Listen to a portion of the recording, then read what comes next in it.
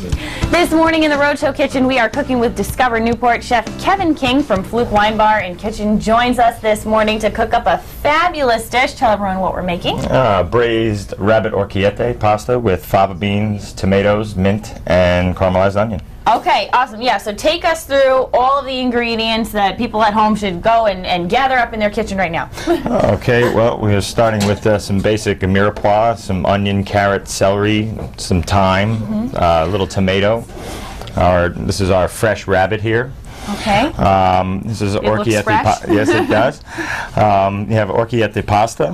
Um, you can find that anywhere. Mm-hmm. Um, some caramelized onions, fava beans. Uh, fava beans. If you don't have a fava, fava beans in your local market or something, you can get uh, green pea or any other pea of your choice. Good to know. Um, fresh mint. Here's your braised rabbit and tomato concasse. Okay. We have a little excellent. fiore sardo to finish. So the only prep that we've done, of course, you know, you're going to show us how to braise a rabbit in just a little bit, but just mm-hmm. caramelizing the onions, just to do that prior Mm-hmm. yeah, to. Yeah, okay. sure. That, uh, That's pretty much Mm-hmm. that's uh, a prior step. Uh, you can dice your tomatoes on the day of uh, prep. Uh, Okay. You know, the fava beans you can cook that day too. Excellent. So this is all going to come together and uh, grab a glass of Chianti with your fava beans too. Why the heck not? Yeah. All right, we're going to start making this dish in just a little bit. Back to you. For now, we're going to be heading back to the kitchen. How's that Wescally rabbit?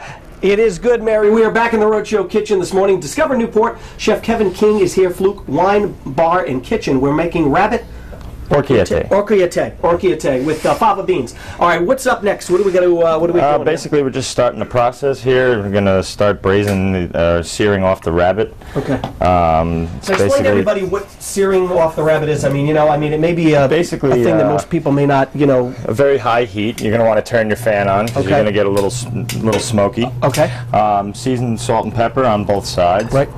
Um, and you're basically browning. You want to get a nice uh, brown color on all sides. Okay. Um, Now, what did you Putting it in use? Was that was that a, uh, a regular cooking oil or an olive oil that uh, you put this in is there? a, a blended oil. It's uh, 75% canola, 25% olive oil. Okay. Um, it's what we use at the restaurant. Um, And how long is this going to take? I mean, you know, I mean, that's a that's a big piece of you know well, it, it's going to about about 325 to 350, about an hour and a half um, until it's, it's starting to fall off the, the bone. Right. You, you take out your your rabbit and reduce the liquid by half, and then you have your strain it and you have your sauce for your dish. And this is something you can do a couple of days ahead of the actual rest of the dish, your fava beans and your tomatoes. So it's great for doing a party or something because you'll have it all done and ready to go, and you can basically just toss everything together. Okay. And, All right, perfect. All Um, right. We have this on a high heat. We have our rabbit ready to uh, be seared. It's searing on both sides right now. In the meantime, back to you.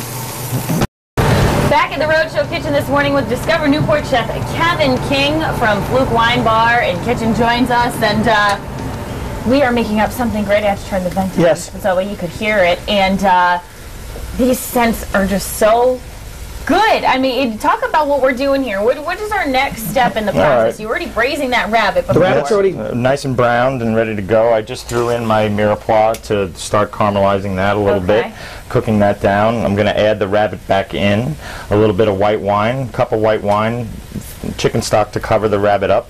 Throw it in the oven for an hour and a half until it's soft, and pick the meat when it's done. Okay, I mean, you know, I mean, a lot of people may not cook rabbit, you know, very often. Sure. Where do you get one? Um, you can get one at your Not your local. At your, This at is your- not yet. We don't want the one in your backyard. No. No, yeah, you can get one at, at a, a local butcher. They, they, Okay. they will definitely carry. Um, they come about three to four pounds in size to, n- normally. Right. Um, and I mean, essentially, you can cook it like a chicken. I mean, uh, any, anything a, a braised piece of meat. I mean, it's it's it's very similar to chicken in my opinion. It's a very light. Good to Uh, meat. It's not a very gamey meat. It doesn't have a lot of uh, like an off put like some people like you know venison gets a little Right, too gamey right. for them. It's not like that at That's all. good to know too, because I know some people are a little skeptical. Right, about what it- what it may rat- taste but like. When you're comparing it to chicken, I mean, that sounds delicious to me. So I mean, here this is the final product uh, after the the rabbit's been braised and picked, and you know you want to keep it kind of in a some big big pieces. And how much how much meat will come from you know a rabbit of, thi- of this size? Um, you'll get about a pound of meat uh, Okay, you will. Uh, Okay. yeah, you know, about about 16 ounces. So you can you can feed four people. You know, Yeah, about um, uh, on one rabbit. Right. And you know, f- with all your other pastas. Right. So at this point, throw your Place rabbit back in there again. And are we cooking on high heat, Chef? Yes. Okay. You know, white wine. Chicken stock. A little chicken stock in there.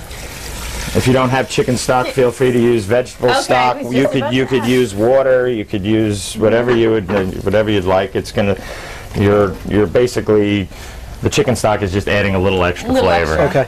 Um, and then this is just going to go in the oven. Um, you know, maybe halfway through the cooking process, you give her a little flip, Mm-hmm. and that's about it. About an hour and a About an half, hour, right. two two hours, depending. Okay. Um, you At what temperature? uh, 325. Oh, okay. So nice, slow, slow cook there. So then when it's done, after it comes out, then you'd break it apart. I mean, almost like like you're saying, like a chicken. You, Almost you or, or like tip pulled the meat- pork, like or, pulled pork, or okay. you would do, do that. Okay. And this is essentially the, the, the final product. Mm-hmm. Um, all mixed together. Yeah, remind everyone at home what went into that that dish. uh, The Okay. other ingredients that are in there. Well, well, we have fava beans, uh, basically small t- t- tomato dice, um, fresh mint, Yum. and caramelized onions. And uh, you have your finished sauce. This is the reduced liquid after you. Uh, That came out of the the, the original pan. Out of the uh, the braising, um, and that's it. And what would you use that for? That that sauce that came out. I mean, can, That's you, can that's you reuse it as something well. else? That sauce is uh, for the, the actual When you pasta. put it when in you here. when you pick Okay. up the pasta, you add a little bit of that, oh, excellent. um, and that's Put a little grated cheese on Uh, there. This is a Fiore Sardo. It's a smoked pecorino. Okay.